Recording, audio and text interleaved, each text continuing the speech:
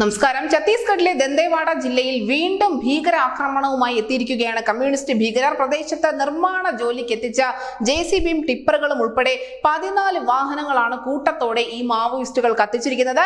ദന്തേവാഡയിലെ ഭാൻസി police station പരിധിയിലായിരുന്നു സംഭവം ഉണ്ടായത് അതിനിടെ ബർസൂർ പോലീസ് സ്റ്റേഷൻ പരിധിയിൽ ഇവർ നടത്തിയ ഐ ഡി എഫ് സ്ഫോടനത്തിൽ രണ്ട് സി ആർ പി എഫ് ജവാന്മാർക്ക് കാര്യമായ പരിക്കേറ്റിട്ടുമുണ്ട്. ബറ്റാലിയനിലെ സൈനികർ പാലത്തിന് സമീപത്തു നിന്നും ബാനർ നീക്കം ചെയ്യുന്നതിനിടയിലാണ് അപ്രതീക്ഷിതമായ ഒരു മിന്നൽ ആക്രമണം ഈ മാവോയിസ്റ്റ് ഭീകരരുടെ ഭാഗത്തു നിന്നും ഉണ്ടായിരിക്കുന്നത്. പുലർച്ചെ ഒന്നേ മുപ്പതോടെ ആയിരുന്നു ഇത്തരത്തിലുള്ള ഒരു ആക്രമണം നടന്നതെന്ന് ദേശീയ മാധ്യമങ്ങൾ റിപ്പോർട്ട് ചെയ്യുന്നു. പരിക്കേറ്റ സൈനികർ അപകടനില തരണം ചെയ്തു എന്നാണ് നിലവിൽ മുതിർന്ന പോലീസ് ഉദ്യോഗസ്ഥർ അറിയിക്കുന്നത്.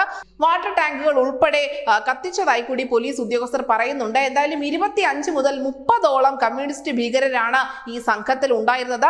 അവരിൽ ഭൂരിഭാഗം ആളുകളും എത്തിയത് ഗ്രാമീണരുടെ വേഷം ധരിച്ചുകൊണ്ടായിരുന്നു. ആക്രമണത്തിൽ തൊട്ട് പിന്നാലെ ഇവർ ഓടി രക്ഷപ്പെടുകയും ചെയ്തിട്ടുണ്ട്.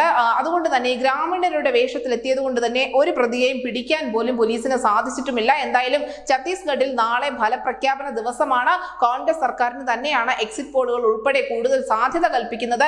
ഇതിനിടയിലാണ് ഇപ്പോൾ ഈ ദന്തേവാഡയിൽ വീണ്ടും ഒരു മാവോയിസ്റ്റ് ആക്രമണം റിപ്പോർട്ട് ചെയ്തിരിക്കുന്നത്. ന്യൂസ് ഡെസ്ക് ന്യൂസിന്റെ മലയാളം.